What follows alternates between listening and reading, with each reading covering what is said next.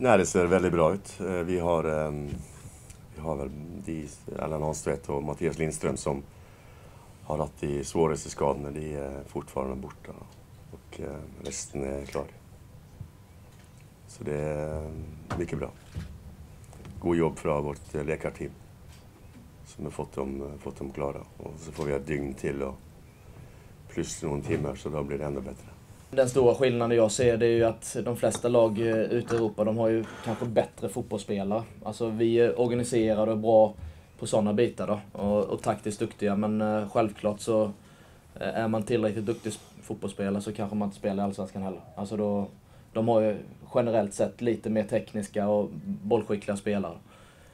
Men vår fördel det är som jag sa innan, organisationen och det är det vi får tänka väldigt mycket på att så länge vi följer de ramar vi har till punkt och pricka, då har vi mot de flesta lag en chans. Och, eh, det känner vi nu gentemot Celtic. Det är också ett välorganiserat lag och eh, de har säkert en hel del eh, spelare som är bättre än våra egna, men jag tror att kan vi till punkt och pricka vara väldigt duktiga på den organisatoriska biten så, så tror jag vi har en chans. Och det gäller bägge de här två matcherna att vara väldigt cyniska på det sättet.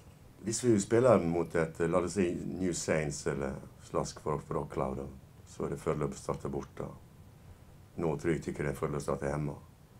För jag tror det att det pressar på oss har det varit, om vi kom från Celtic eh, med 0-0 eller 0-1 eller vinner matchen här så ska vi försvara det föran våra egna fans. Och det tycker jag faktiskt kan vara svårt någon gånger. Vi kan bli lite ängsliga. Jag tror det tycker är mycket bättre att gå ut och försvara en ledning.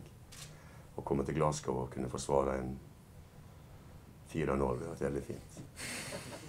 Men eh, vi, kan inte gå, vi kan dra till Glasgow och försvara 0-0 också. För att pressen ligger på Celtic hela vägen. Också för en egen fans. Och de, de är större och mycket mer än våra, våra fans i Helsingborg.